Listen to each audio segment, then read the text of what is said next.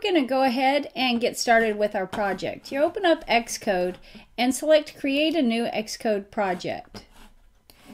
And the type of view that we want to start with is a master detail application. So select master detail application and then select next. For product name, give it whatever name you want to name this project. Again, I'm creating a grocery list, but make your name, you know, work toward whatever you're creating.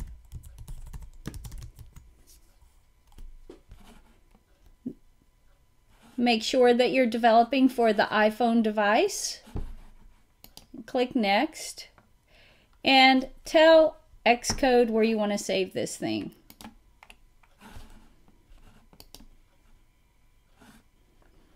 All right. Now, when you get to this area, um, probably the most important thing that you'll want to do after you look through everything is go ahead and add your app icons. I've created my app icons already. Um, I used Photoshop, but you can use any graphics program you want as long as it's going to come up with a PNG file. Now, the way that you load your app icon is to click inside the box. So you'll do a right mouse click, but the trick is you have to click in between the dotted lines in the border there. Select File. I've got mine off in my Dropbox and inside this directory. Now we've got, I'm going to choose the native icon first. This one's a 47 by 47 size. That's what you use for the native um, um, size for I, uh, your iPhone.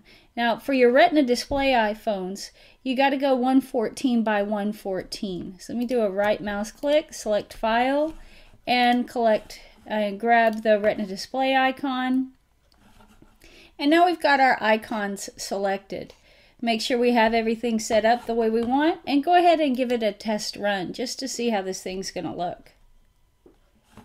You can see um, our master view just comes up with a basic uh, list view here. And just to make sure that our icon's loaded, what we'll do is go back to the home screen and we can see that both of our icons loaded up with no problems. So for this one, it's grocery list. Now, in the next video, we'll go ahead and start working with this and develop our application.